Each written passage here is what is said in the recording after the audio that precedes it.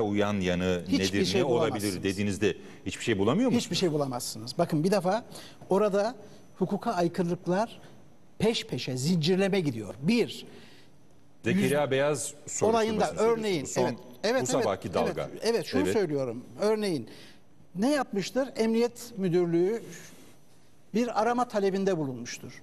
Emniyet Müdürlüğü arama talebinde bu yüzden bulunamaz. İki, savcı ne yapmıştır? Bu arama talebini mahkemeye intikal etmiştir, ettirmiştir. Savcı da bunu yapamaz. Üç, mahkeme ne yapmıştır? Mahkeme de bu konuda karar vermiştir.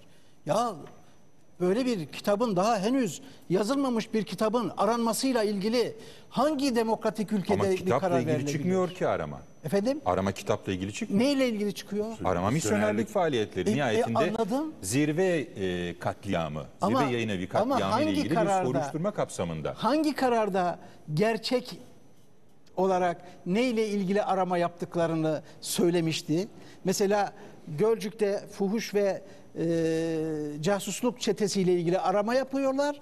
E, balyozla ilgili e, evrak buluyorlar. Bu, bu biz bu filmi izledik bir yerlerde gördük yani bu aynen devam ediyor. Hayır ama yani teknik olarak nihayetinde e, Profesör Zekeriya Beyaz'ın e, misyonerlikle ilgili çalışmaları nedeniyle çıkarılmış bir arama sonucunda Yalnız bunu düzeltelim. Misyonerlik Fethullah faaliyeti Gülen ve Said Nursi ve bunların Türkiye üzerinde politik etkileri konulu bir çalışmasına el konulmasında hukuki olarak yanlış bir şey var mıdır? Teknik olarak yanlış bir şey var mıdır? doğru bir şey var mıdır diye sormalısınız. Doğru bir şey yok. Yani bana göre Peki bu konuda Reşat Petek doğru de bir şey yok. iştirak etti aramıza.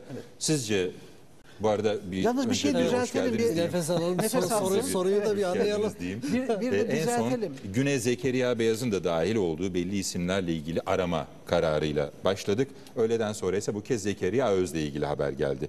Biz bu gündemi konuşuyoruz. Evet. Ee,